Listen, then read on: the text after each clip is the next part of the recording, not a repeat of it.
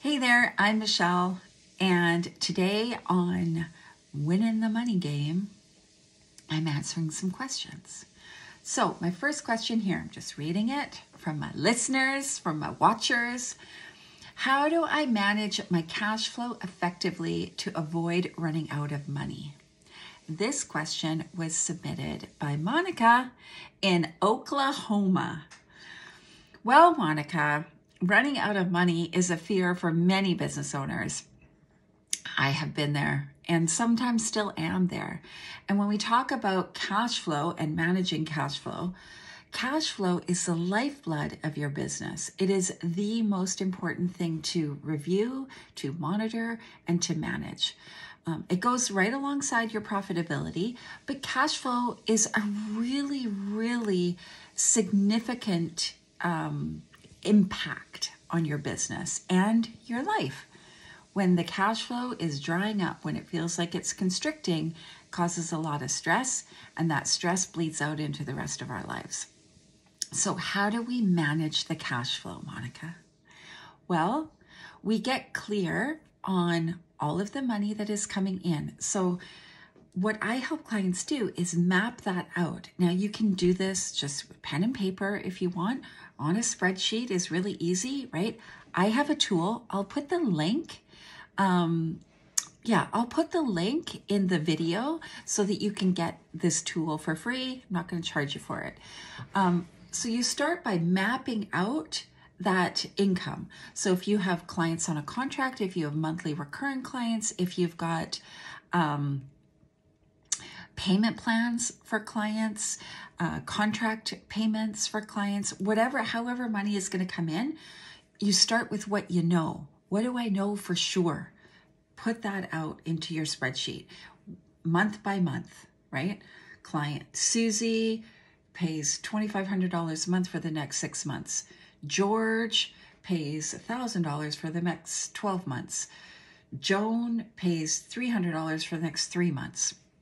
It's as simple as that. Then you map out all of your expenses. So these are monthly recurring. You know for sure these are your fixed costs. This might include your rent, your utilities, your phone, um, software like uh, Dropbox, Google, um, Outlook, whatever it is in your business. Um, all of those fixed costs. These are monthly recurring. They happen every month.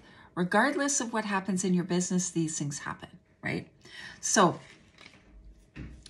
from there, you will be able to see if we start with your income and above that is your beginning bank balance.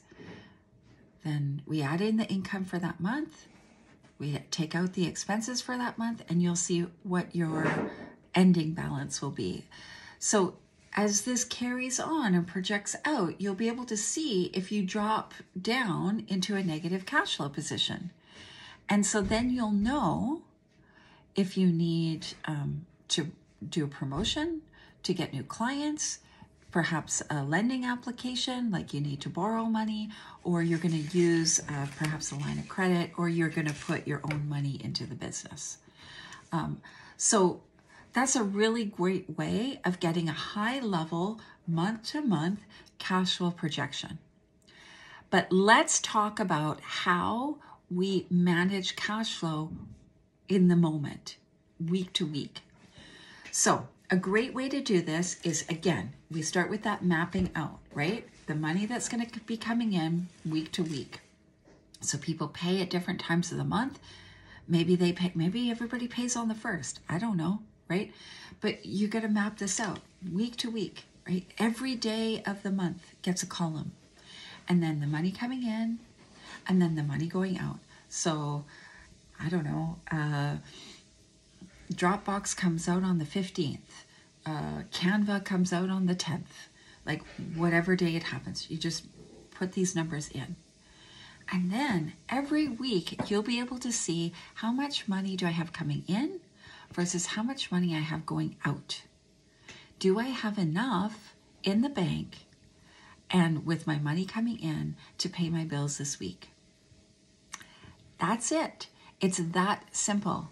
Now, this can feel overwhelming to people if numbers are not your game. And that's why I call this the game of money because it really is, um, it really is a, a game. Oh my God, my dog is pushing my phone around. It really is a game that you need to play and have fun with. Uh, none of this means anything about you. None of this means anything about your business. It's just managing the flow of money in and out of your business. A key component to look at is how money comes in and when, and how it goes out and when. So, are you using um, appropriate automated forms of payment? So, recurring monthly payments set up in a piece of software like Stripe or, um, you know, auto pay onto your credit card. Like, you want to make sure these things match up. The biggest uh, gap that happens in cash flow is when you're putting money out, but you haven't received money in from your clients yet. I'm Michelle Cooper. This is Win in the Game of Money. And if you got any more questions, put them in the comments.